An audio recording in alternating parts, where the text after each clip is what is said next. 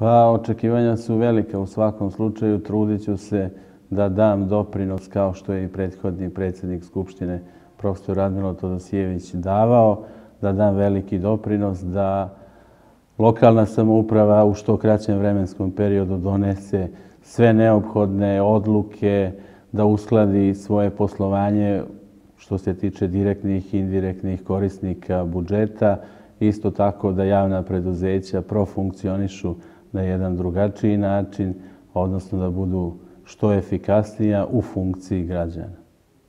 Da li vaš izbor na mesto predsjednika Skupštine znači kraj nesporazumima u Srpskoj naprednoj stranci u Subotici? Da li je vašim izborom stavljena tačka na te nesporazume?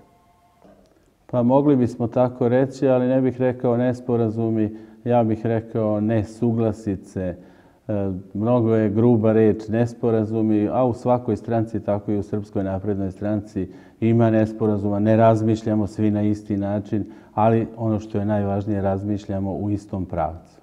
Kakva su vaše očekivanja po pitanju stabilnosti lokalne koalicije u Subotici? E, Subotička koalicija koju e, čiju okosnicu čini Savez vojvođanskih Mađara i Srpska napredna stranka funkcioniše besprekorno i nema razloga i u narednom periodu zajedno sa koalicijonim partnerima da tako ne bude.